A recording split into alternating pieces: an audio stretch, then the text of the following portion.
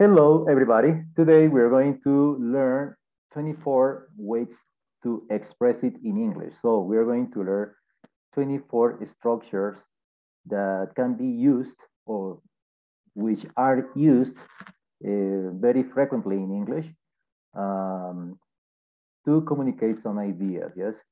Uh, this is the part number one. So this is part number one. I'm going to make two parts uh, this is the first one, so we are going to see 12 expressions or 12 structures that um, are commonly used in English to express your ideas. Uh, I know that you are going to, to like them. Yeah? So let's start with the first uh, with the first expression. I'm going to show my screen, uh, the slide presentation. And let me see here. This is, share this one. I have it in Canva, so let me, let me make the presentation. This is the one. Okay. 24 ways to express it in English, part one. Yes, I'm going to move myself here. Okay, this one. 24 ways to express it in English, part one. Okay, the first expression or the first structure in order to express uh, any kind of idea is have the verb have something done. Yes, have something done. It has three components um, uh, of the sentence of expression in order to uh, say something in Spanish like this, ¿no? Hacer los arreglos para que se haga algo. Yeah, I know that is not clear. Um, first, it's not clear in the uh, uh, in Spanish, yes. Uh, but with examples, I know that you're going to understand. But the, the most important thing is that you keep in mind, have something done, yes. Done is respect to the, is referring to the verb in past participle, yes. So examples, we say, have it done by noon tomorrow. Have it done by noon tomorrow. Have it done by noon tomorrow. So, eh, termínalo para mañana al mediodía, ¿no? Entonces es como termínalo o haz que eh, se termine o haz que o, o, hazlo, ¿no? Es una manera de decir hazlo para mañana al mediodía. Have it done by noon tomorrow. Another example, example number two. We'll have it fixed. We'll have it fixed. Entonces, lo arreglaremos. Lo arreglaremos, ¿no? O sea, haremos que se arregle. Eh, podríamos decirlo de una manera eh, diferente, ¿no? O interpretarlo de esta manera. Lo haremos que se arregle, ¿no? sería como ese el, literal, ¿no? Pero pues interpretado más familiarmente para nosotros, que sea como más, eh, sí, que, que nosotros podamos entenderlo mejor, es lo haremos o lo arreglaremos, ¿no? Nosotros lo arreglaremos. Example number three, let's have the car repaired. Let's have the car repaired. Let's have the car repaired. Entonces, eh, es como, mandemos a reparar el carro, ¿no? Mandemos a reparar el carro o hagamos que el carro sea reparado, ¿sí? Como lo entiendas mejor. Pero la idea que se, que se comunica a través de esta expresión, let's have the car repaired, es como mandemos o una invitación a, hacer que el carro sea reparado. ¿no? Let's have the car repaired. Let's, recuerde que la palabra let's o la frase let's es la contracción de let us, o sea, let's siempre indica como una invitación. Hagamos, let's do it, hagámoslo. Let's go, vamos. Let's come, vengamos, ¿no? o let's eat, comamos, ¿no? Entonces el let's siempre es como indica algo en el que yo me incluyo en la actividad. Yo lo digo, pero me incluyo invitando a los demás, ¿no? Let's start the party. Empecemos la fiesta, ¿no? Let's start the party. En este caso es let's have the car repaired. Let's have the car repaired. Entonces, eh, reparemos el carro, hagamos que el carro se repare, ¿no? No quiere decir que nosotros mismos vamos a reparar el carro, sino que vamos a mandar a alguien a que lo repare, ¿no? O hacer o a llevarlo al taller a que lo repare. Entonces, let's have the car repaired. Listo, entonces observen que aquí tenemos el have, the car, que vendría siendo something, y repaired, que es el participio pasado. Entonces, algo que deben entender acá es que ese have que tenemos acá es este, ¿no? Have, have, have, ¿no? Have something, aquí tenemos something, o sea, algo, puede ser the car, the house, the floor, the curtains, the phone, etcétera. Alguna cosa, alguna cosa. En este caso es the car, have the car y el participio. Aquí done, este done indica hecho, es decir, eh, la acción que se pretende hacer eh, con el objeto, ¿no? Entonces, eh, va en participio pasado, por eso el verbo está en done, ¿no? Está don't, que es el pasado participio del do. Entonces, let's have the car repaired. Hagamos que el carro se repare o mandemos a reparar el carro. The example number four, you say, I couldn't have the work done. I couldn't have the work done. No pude terminar el trabajo, ¿no? I couldn't have the work done. No pude hacer que se terminara el trabajo o, hacer que el trabajo terminado finalizado, ¿no? No pude terminar el trabajo. Entonces, I couldn't have the work done. ¿Ok? Igual, entonces tenemos acá have, the work, something, ese es something, ese es el algo, el work, en este caso, the work es el algo, y done, pues hecho, ¿no? Que es el verbo en participio pasado. Example, that's example. Dice, Mary had her cell phone changed. Mary had her cell phone changed. Entonces, Mary o María eh, cambió el celular, ¿no? Eh, o hizo que le cambiaran el celular. De pronto le entregaron un celular que no era, o el celular salió dañado, etc. Entonces, Mary had her cell phone changed. Mary had her cell phone changed. Observen que algo interesante que deben tener en cuenta en estas expresiones es que el tiempo eh, es reflejado o se refleja en el verbo have, ¿no? Entonces aquí tenemos prácticamente las, eh, todas, bueno, la primera está aquí presente, ¿no? Have, have it done by tomorrow, ¿no? Hazlo para mañana, ¿no? O haz que, se, que, que, lo hagan para mañana. Will have it fixed, aquí está en futuro, ¿no? Will have, will have es el futuro del verbo have, will have, es will have it fixed. Aquí está en presente, have, yes, couldn't have con el verbo modal could, pero aquí está en pasado. Si vemos que tenemos had, had es el pasado de have, entonces, por eso dice, Mary cambió el celular, ¿no? Mary cambió el celular. ¿Listo? No Mary cambia el celular. Sería diferente. ¿Ok? Si fuera en presente, entonces sería Mary has, porque la forma de have en presente para terceras personas, en el caso de she, ella, o he, él, eh, es has, ¿no? Entonces, ahí eh, tienen que tener en cuenta de que el tiempo eh, lo refleja el verbo have have, okay? Good, this is the expression number one. Expression number two, let's see. Expression number two, let's see, remember, let's see, let's see, veamos. okay, we have have someone base form, no? The base verb. Have someone base verb. Entonces tenemos el have, someone se refiere a alguien y base verb es la, el verbo en su forma básica, ¿no? Have someone base verb. Hacer que alguien haga algo. Igual, no tiene mucho sentido la traducción porque pues no tienen las traducciones literales o un equivalente en español literal. Entonces, em, se entiende mejor con los ejemplos, ¿no? Entonces vamos a mirar los ejemplos. Have someone base verb. Entonces tenemos, en esto lo importante es tener en cuenta de que igual el tiempo va a ser determinado por el tiempo que tenga el verbo have. Someone, alguien, y la forma básica del verbo. La forma básica del verbo me refiero a que es el verbo eh, sin conjugar, es decir, está en la forma básica, como la encuentran en los diccionarios. ¿Listo?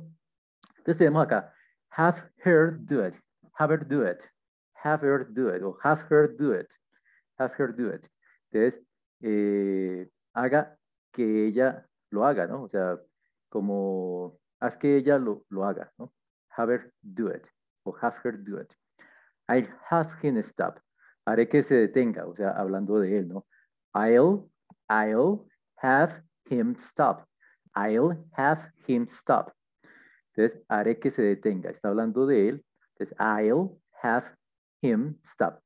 I'll have him stop. Generalmente lo dicen mm, combinado los sonidos, ¿no? I'll have it stop. I have it stop. Okay, excuse me. I have it stop.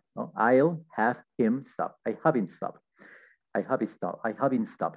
Entonces, eh, haré, que lo, haré que se detenga, ¿no? Hablando de él, ¿no? Could you have Mary call me back? Could, could you have Mary call me back? Could you have Mary call me back? Puede, podrías hacer que Mary me devolviera la llamada, ¿no? Podrías hacer que María o Mary me devuelva la llamada. Could you have Mary call me back?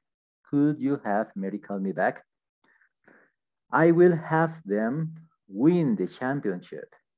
I will have them win the championship. Haré que ellos ganen el campeonato, ¿no? Entonces, los haré, como, decir, como si dijera, los haré ganar el campeonato, ¿no? I will have them win the championship. Imagine that is a coach, yes, in a soccer team or uh, another sports, yeah, another sport. So I will have them win the championship. Imagínate que llega el nuevo entrenador y dice, bueno, listo, vamos a trabajar duro y vamos a hacer que ganen, ¿no? El campeonato. Vamos, voy a hacer que ganen el campeonato. I will have them win the championship. Ese them se refiere a ellos, a ellos. Entonces voy a hacer que estos muchachos, que ellos ganen el campeonato. My mother used to have me go to bed early. My mother used to have me go to bed early. My mother used to have me go to bed early. Mi, mamá, solía, ese used to, es solía, indica un hábito en pasado, lo que tú solías hacer. Por ejemplo, yo puedo decir, I used to um, play hide and seek. Yes? I used to play hide and seek. Hide and seek, ya las escondidas, ¿no? El juego de las escondidas. My mother used to have me go to bed. Aquí, mi madre solía hacerme eh, ir a dormir temprano o irme a la cama temprano. mi mamá solía eh, hacer que yo fuera o me acostara temprano. En español vendría siendo que me acostara temprano. My mother used to have, my mother used to have me go to bed early. ¿Listo? Expression number three. Expression number three. Dice, have something on someone. Have something on someone. Que alguien tenga algo. ¿Sí? Igual. En esta primera interpretación, pues no, no, no tiene mucho sentido, pero es have something on someone. ¿sí? Solamente quiero que recuerden la construcción, ¿no? Have something on someone. Someone, ¿ok? Miremos los ejemplos. Let's see the examples. Do you have a cell phone on you? Imagine this situation. You need uh, your cell phone uh, is dead. Yes, battery ran out. So, and you, you are with a friend and say, hey, I need to make a call. Do you have a cell phone on you? Do you have a cell phone on you? Do you have a cell phone on you? ¿Tienes un teléfono contigo? ¿Sí? Literalmente, si tú lo traduces literalmente, dirías como tienes un teléfono sobre ti. Pero pues, obviamente, pues eso no lo hicimos, no, no lo decimos nosotros, ¿no? Pero la intención comunicativa de esa frase es, ¿tienes un teléfono contigo? O sea, ¿tienes un teléfono? Eh, como si tú le estuvieras preguntando, pues para pedirlo prestado, ¿no? Oh, my, my cell phone is dead, o my phone is dead. Do you have a cell phone on you? Oh, mi teléfono está muerto, o sea, no tiene energía. ¿Tienes un teléfono contigo? ¿Tienes un teléfono que me prestes, por ejemplo? Ok. Do you, eh, excuse me, you know I always have money on me. You know I always have money on me, ¿no? ok, tú sabes que siempre traigo dinero, ¿no? Tú sabes que siempre traigo dinero, ahí está como chicaneando, ¿no? El gomero. You know I always have money on me, yes? Tú sabes que siempre traigo dinero. The other one is, could you have the tickets on you? Could you have the tickets on you? Eh, ¿Podrías tener los tiquetes? O sea, como podrías guardarlos, ¿no? Tenerlos contigo.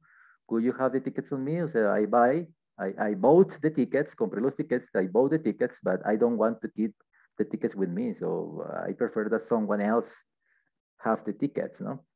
Entonces, eh, compré los tiquetes, yo no quiero que mantener los tiquetes porque soy de pronto muy descuidado, de pronto se me pierden, entonces prefiero que alguien más los tenga, los guarde, ¿no? Por ejemplo, cuando va al cine.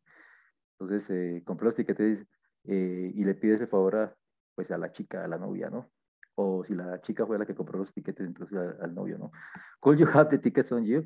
Podrías tener los tiquetes contigo, o sea, podrías guardarlos. I didn't have the gun on me oh my God, I didn't have the gun on me. I didn't have the gun on me, ¿no? Eh, yo no tenía el arma. Yo no tenía el arma, ¿no? I didn't have the gun on me. Imagine, that there, there is a, a, crime scene, a crime scene, and uh, somebody or the police is uh, blaming you, no? Uh, you are the main suspicious, no? So you say, no, like a defense, no? I didn't have the gun on me, no? Yo no tenía el arma. La tenía el otro, ¿no? Uh, okay. I was wondering if you could have camera have a camera on you. Ok, ahí me faltó el, el, el, el artículo A. I was wondering if you could have a camera on you, ¿no? Me preguntaba, I was wondering, me preguntaba if you could have a camera on you. Me preguntaba si podrías tener una cámara contigo, ¿no? Si, si, tendrías una cámara. También, o sea, da el sentido o comunica de que quizás quiero pedirle prestada la cámara, ¿no? ¿Listo? Okay, expression, next expression.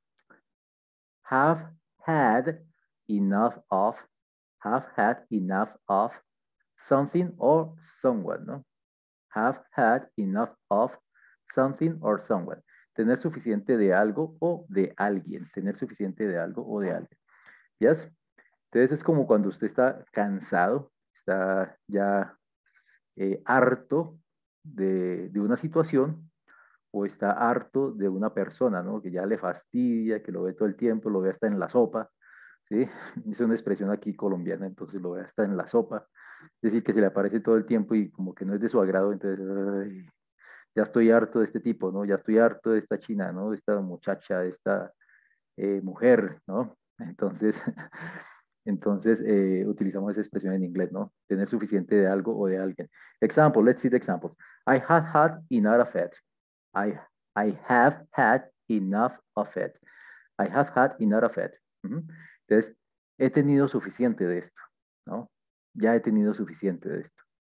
Entonces, la contracción de I have puede ser I've, como en el segundo ejemplo, I've had enough of you today. I have, I've had enough of you today. He tenido suficiente de ti, ya he tenido suficiente de ti, ya no me lo aguanto más, ya no me lo aguanto más. I'm fed up with you, I am fed up with you, o sea, estoy harto de ti, ¿no? Entonces, I have enough of you today. Ya he tenido suficiente de ti hoy. Okay, next example. Say, next example. She's had enough of humiliation. Humiliation. She's had enough of humiliation. Ella ha ya ha tenido suficiente humillación, ¿no? Ella ya ha tenido suficiente humillación, ¿no? la pobre ha sido humillada, tan, tan, tan, no, ya es suficiente con eso. Don't you think he's had enough of shame? Don't you think he's had enough of shame? Ok. Eh, bueno, a mí me faltó el signo de interrogación. Eh, ¿No crees que él ya tuvo suficiente vergüenza, ¿no? O sea, ya fue suficiente que lo avergonzaran, ya es mucha vergüenza que ha tenido. Don't you think he's had enough of shame? Y la otra, el otro ejemplo, I think they've had enough of pain. I think they've had enough of pain. Yo creo que ellos ya han tenido suficiente dolor, ¿no? Eso suena como en las películas cuando lo están torturando, ¿no? Entonces, I think they have enough of pain, ¿no? Creo que ya han tenido suficiente dolor o de pronto han pasado por experiencias así como dolorosas, pérdida de un familiar o no sé, tragedias que han tenido. Entonces, I think they have enough of pain. Yo creo que han tenido suficiente, ya han pasado por mucho dolor. Ok, next expression. Have something under control. Have something under control. In this expression number five, we have, something under control. En esta expresión número 5 tenemos el have something under control, que es tener algo bajo control. Muy sencillo, ¿no? Have something under control.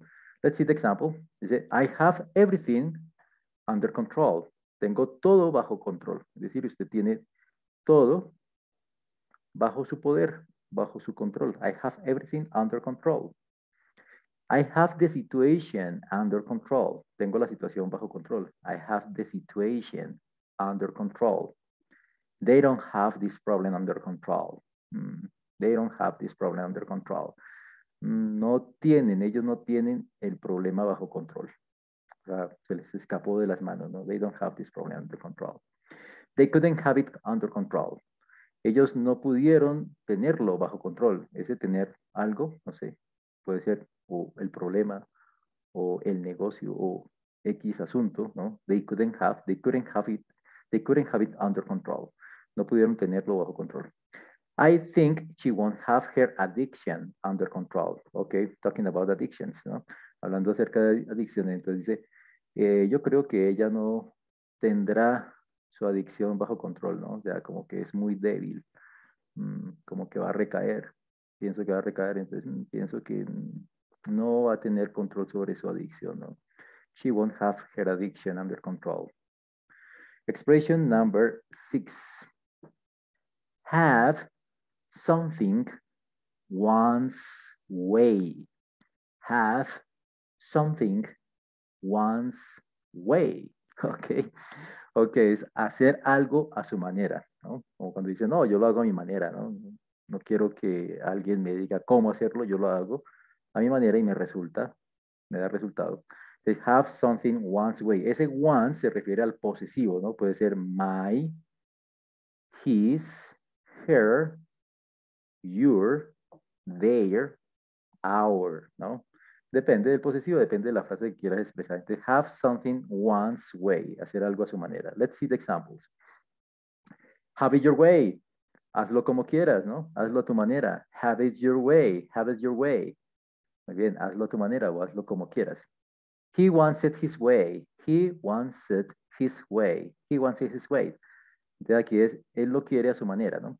Observe que aquí ya cambié el verbo have por el verbo wants. Yes, he wants his, he wants it his way. Es decir, que ahí ustedes pueden hacer sus modificaciones, ¿no? Entonces no solamente es el have, puede ser otro verbo. Eh, lo importante es que es el it his way, ¿no? O sea, hacerlo a su manera, ¿no?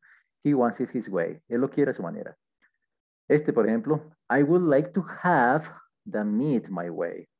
I would like to have the meat my way. Me que está en un restaurante, ¿no? Entonces, no, quiero me gustaría la carne a mi manera, ¿no? O sea, bueno, suena como extraña expresión, pero me gustaría la carne a mi manera, es decir, como a tres cuartos o no sé, eh, con, un, con cierto aderezo, cierto sabor, no sé.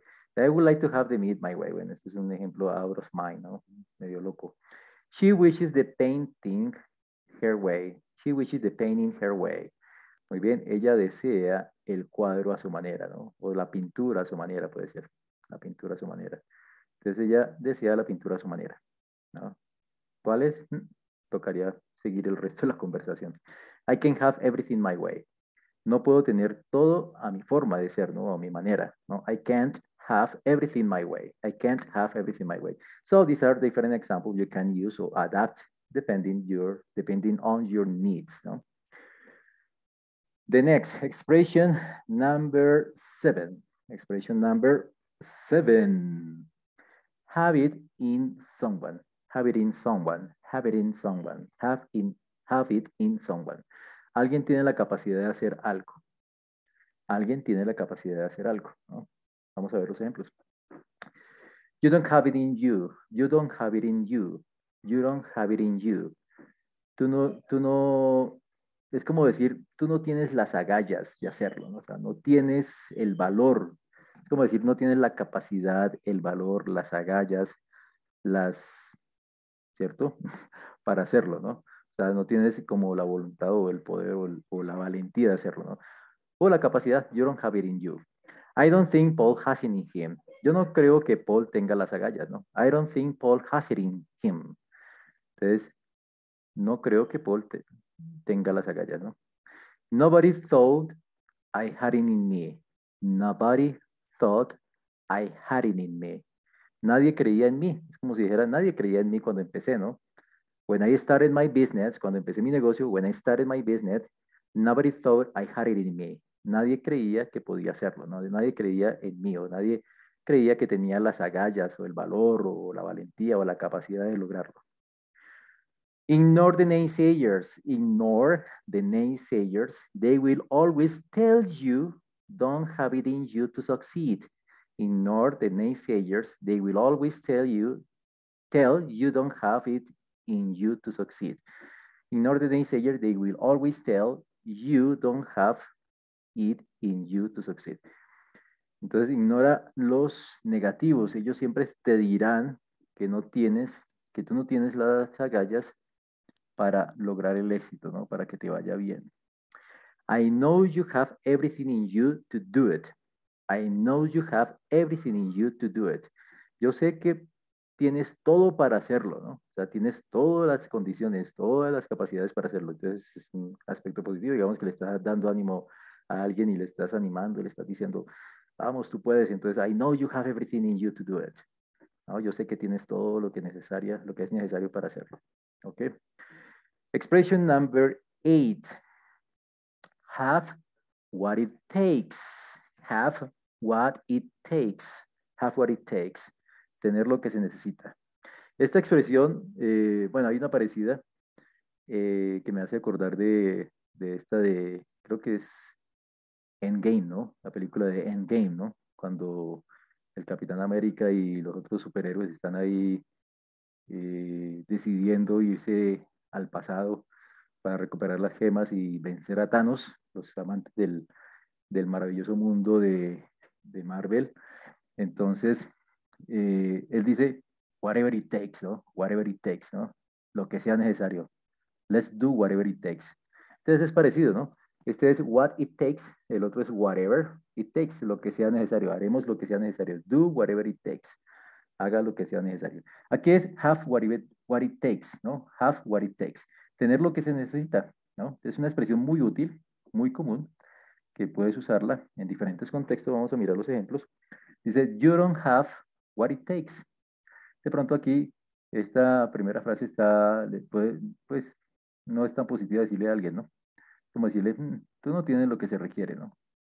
I don't think you don't, I think you just don't have what it takes. Yo creo que tú no tienes lo que se requiere, lo que se necesita. O sea, lo está desanimando, ¿no? I have what it takes. En cambio, este dice, yo tengo lo que se requiere, ¿no? I have what it takes. I have what it takes. Tengo lo que se requiere.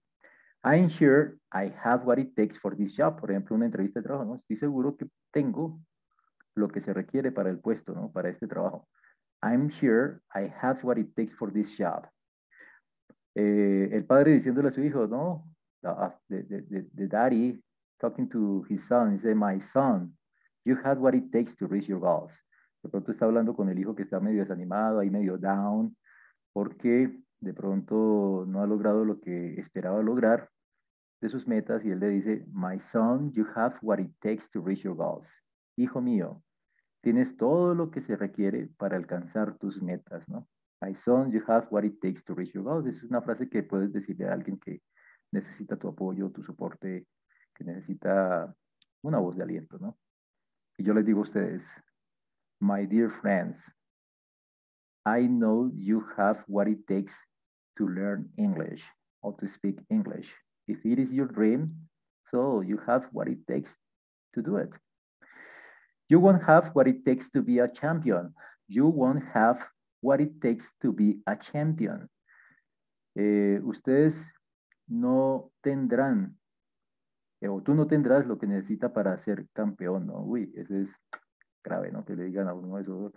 You won't have what it takes to be a champion, ¿no? Me, me acuerdo aquí de algún boxeador, ¿no? De ahí como medio golpeado que perdió la, la, la pelea, la primera pelea. Y le dice al entrenador, hmm, I'm disappointed you won't have what it takes to be a champion. You are very disorganized. You don't want to do it. Ah, tú no quieres hacerlo. Mm, estoy desilusionado. Tú no tienes lo que se requiere. No, no, no tienes los, el valor o las cosas requeridas para ser el campeón, ¿no? Uy, duro, duro, ¿no? Duro eso. Okay, the next expression, expression number nine. Expression number nine. It says hacer algo por alguien. Do something for someone. Do something for someone. Ok, do something for someone. Hacer algo por alguien, muy sencillo, ¿no? Aquí, they do everything for you. They do everything for you. They do everything for you. Ellos harán, ellos hacen todo por ti. Ellos hacen todo por ti. Your parents do everything for you. Tus papás hacen todo por ti. You, eh, Your friends do everything for you. Tus amigos hacen todo por ti. He'll do anything for her. He'll do anything for her. Él hará todo por ella o cualquier cosa por ella. Ese anything es cualquier, cualquier cosa, ¿no? He'll do anything for her. Él hará cualquier cosa por ella. Oh, una demostración de amor. Está enamorado, ¿no? Ah, he's in love with her. He'll do anything for her. Él está enamorado de ella. Él hará cualquier cosa por ella. Your parents have always done everything for you. So be grateful. Your parents have always done everything for you, so be grateful. Tus papás han, han hecho siempre todo por ti. Entonces, sea agradecido, ¿no? De pronto el hijo ha sido un poco patán, ¿sí? desagradecido, ingrato, no ha querido reconocer lo que los padres han hecho, entonces el, el amigo o alguien le dice, hmm, remember, your parents have always done everything for you. So be grateful. Recuerda, tus padres siempre han estado o siempre han hecho todo por ti. Así que sé un poquito agradecido. I do anything you ask me for you. Otro enamorado. I do anything you ask me for you. I do anything you ask me for you. Haría cualquier cosa que me pidieras eh, por ti. ¿no? haría por ti cualquier cosa que me pidieras, ¿no? Que me pidas. Entonces, I won't be there forever to do everything for you. I won't be there forever to do everything for you. Entonces, no estaré allí para siempre hacer todo por ti, ¿no? Entonces, una frase común que le dicen los papás a uno, ¿no? O que, bueno, sí que le decían, que nos decían nuestros padres, ¿no? Recuerda, hijo mío, recuerda, Tienes que aprender a hacer las cosas por ti mismo y ser independiente, porque yo no estaré siempre a tu lado para hacer las cosas por ti. Ahí está la frase, ¿no? I won't be there forever to do everything for you. Eh, no estaré allí siempre para hacer todo por ti. ¿Listo? Entonces, remember, remember. Okay, the next expression, number 10. Number 10, okay. Do something about something. Do something about something. Hacer algo al respecto. ¿Listo? Hacer algo al respecto, acerca de alguna situación. Do something about something. Do something about something. Entonces miremos acá. You should do, you should do something about it. Deberías hacer algo al respecto, ¿no? You should do something about it. Imagine that um, it hap uh, something happens. Yeah, something happens. Uh, something that was was not good. and you say, okay, so your friend says, you should do something about it, ¿no? Imagina que pasó algo malo, te hicieron algo, algún daño, entonces tu amigo te dice, hey, deberías hacer algo, hermano. You should do something about it. No lo dejes así, no lo dejes pasar, ¿no? I think he should do something about it. She can't remain passive in this situation. I think she should do something about it. She can't remain passive in this situation. Yo creo que ella debería hacer algo al respecto. Ella no puede permanecer pasiva o quedarse pasiva en esta situación, ¿no? Entonces, eh, hicieron algo, eh, no sé, de pronto se sobrepasaron con ella o fueron injustos con ella, entonces un tercero piensa, no, yo, creo que ella debería hacer algo al respecto, o sea, no, puede permanecer así sin hacer nada ¿no? en esta situación, entonces she can't remain passive in this situation, she he should do something about it. They ashamed you, do something about it. They ashamed you, do something about it. Ajá, ellos te avergonzaron o ellos los avergonzaron a ustedes o te avergonzaron, ¿no? Do something about it. Ha, haz algo al respecto o hagan algo al respecto si están hablando en plural, ¿no? They ashamed you, do something about it. I can't believe you won't do anything about it. I can't believe you won't do anything about it. Observen que en la parte negativa, cuando uso negativo, eh, en esta frase, dice, yo no puedo creer que tú no harás nada al respecto. Ya cambio el something por anything, porque las frases negativas, en lugar de utilizar something, utilizamos anything. ¿Listo? Entonces tengan en cuenta ese detalle. Eh, cuando se expresan en forma negativa, no decimos you won't do something about it, sino you won't do anything about it. El anything se utiliza para la parte de negación. Are you gonna do something about it? Are you gonna do something about it? ¿Vas a hacer algo al respecto? Are you gonna do something about it? Es como, em, como, tiene un tono como desafiante, ¿no? Entonces, te ofendí. Entonces ahí sale, are you gonna do something about it? ¿Vas a hacer algo al respecto? Así como retando, ¿no? A ver, a ver, papá, dime, are you gonna do something about it? ok, como retándolo. Entonces esa frase también se puede utilizar en, formas no tan positivas. Expression number eh, 11. Do someone good or harm. Do someone good or harm. Le hace bien o mal a alguien. ¿no? Le hace bien o mal a alguien. Miremos los ejemplos. He meant to do you harm. He meant to do you harm. ¿no? Él quería hacerte daño, ¿no? O, sí, él quería hacerte daño. He meant to do you harm. ¿no? Fresh air will do you good. Will do you good. Fresh air will do you good. Fresh air will do you good. El aire fresco te hará bien. El aire fresco te hará bien. Fresh air will do you good. A little exercise may do you good. A little exercise may do you good. Un poco de ejercicio te hará bien. A little exercise may do you good. Smoking a lot, smoking a lot will do you harm in the long run. Smoking a lot will do you harm in the long run. Entonces, fumar mucho a la larga te hará daño. Fumar mucho a la larga te hará daño. In the long run es como a la larga, ¿no? A largo plazo. In the long run, a largo plazo, a la larga. Do you want me to do her harm? Do you want me to do her harm? ¿Quieres que la lastime? Eso es como si, ¿tú quieres que yo la lastime? Do you want me to do her harm? Do you want me to do her harm? Yes. ¿Quieres que la lastime?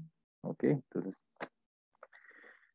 Y la expresión número 12, number 12, por este video es make something out of something. Make something out of something. Hacer algo de algo. igual aquí en la interpretación inicialmente pues no, casi como que no nos dice nada. Los ejemplos son los que nos, nos parece un poco más, más fácil de entender, ¿no? Entonces tenemos acá, I make it out of tape. I make it out of tape. Lo dice, lo hago de cinta, ¿no? I make it out of tape. I make it out of tape. I make it out of tape. Lo hago de cinta.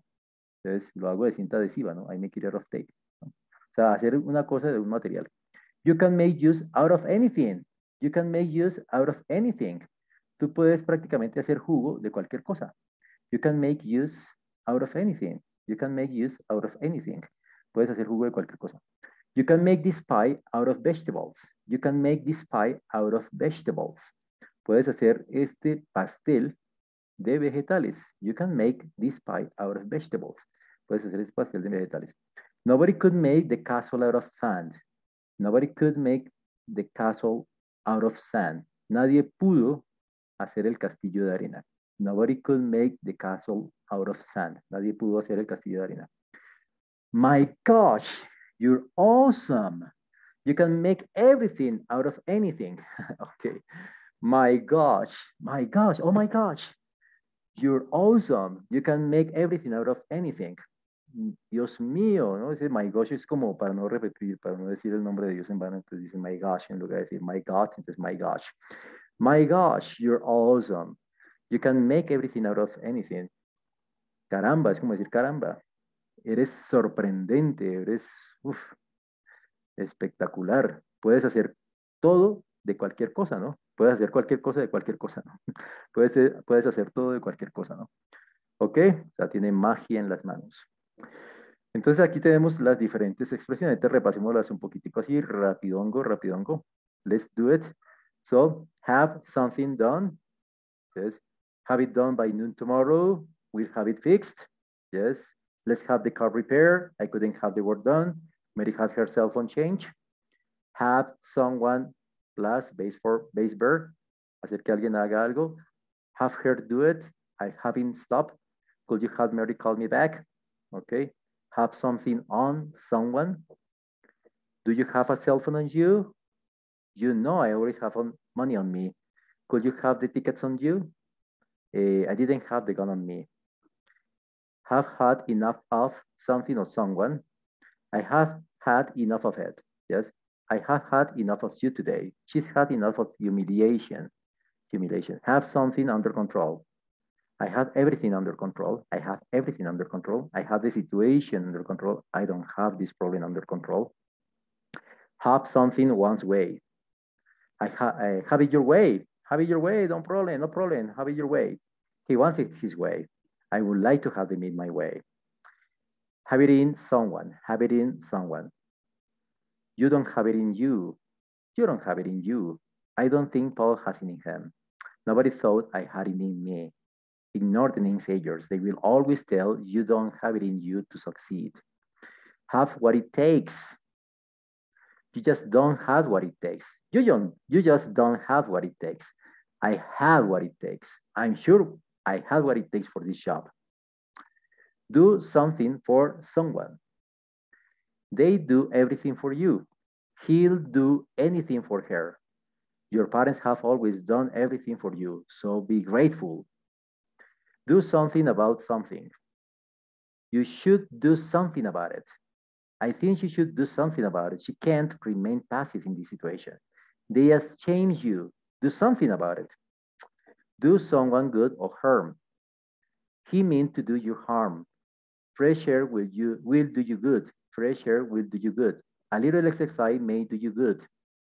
Make something out of something. I, I make it out of tape. I make it out of tape. You can make use out of anything. You can make this pie out of vegetables. Okay? These are the 20, the well, the 12 first expression in this first part of the 24 expression. No expression, but ways to express some things or some thoughts in English, yes? Um, well, I hope this video will uh, help you in order to learn a little bit more English. Remember that the more you practice English, the more opportunities you look for practicing English, uh, the more uh, expert you're gonna become, yes? Or uh, the more you will learn, no? So it's very important that you practice English. Uh, well, I, am waiting for, or yes, I'm waiting for uh, mm, finishing my semester, my classes at the university, uh, in order to invite you to the activities of conversation, the people who, who are living in Bogota. Um, I would like to meet you personally and, and invite you to, to go to some conversation clubs around the city.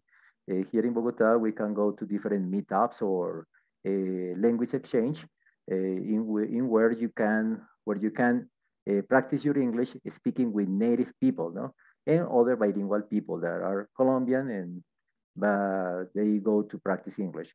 But uh, in those places, you can find many people that are foreigners, uh, and you can exchange.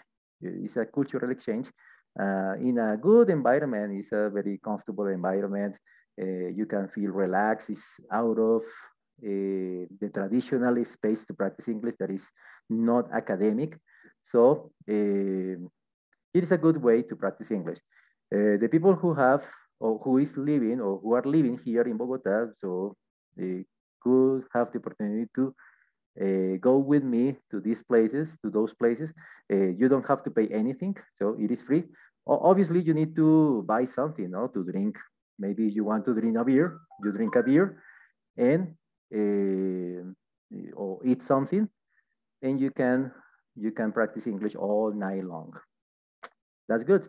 So, entonces, mis queridos amigos, eh, espero que les sirva este, este video, eh, pues para aprender un poquito más de inglés y que recuerden que entre más practiquen, pues más expertos se hacen, más eh, aprenderán inglés, entre más practiquen, practiquen, practiquen, busquen oportunidades de practicar, nosotros tenemos solamente este pequeño espacio que he sacado de mi tiempo para poderles compartir un poquito.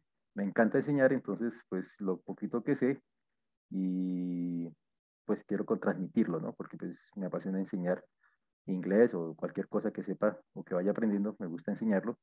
Eh, así sea que al principio no sea tan perfecto lo que enseñe, pero pues eh, lo importante es el detalle de querer compartir con los demás el conocimiento, porque yo pienso que el conocimiento debe ser libre, ¿no? Para las personas que eh, viven aquí en Bogotá, pues eh, yo estoy aquí esperando ahorita ya la próxima semana termino mis clases en la universidad, entonces Eh, voy a tener un poco más de tiempo, me gustaría poder conocerles, los que estén por acá en Bogotá, viviendo en Bogotá, pues para que podamos reunirnos e ir a esos sitios. En Bogotá hay muchos sitios en donde hay intercambio cultural. No sé si han escuchado de Gringos Tuesday, que son como martes de gringos, en donde podemos ir y conocer gente extranjera, también otras personas que son bilingües, igual que nosotros que estamos aprendiendo inglés. Entonces vamos allá, practicamos, eh, conocemos, hacemos amigos. Es un ambiente agradable, no tienes que pagar nada, es gratis. Simplemente, pues consumes algo en el sitio, ¿no?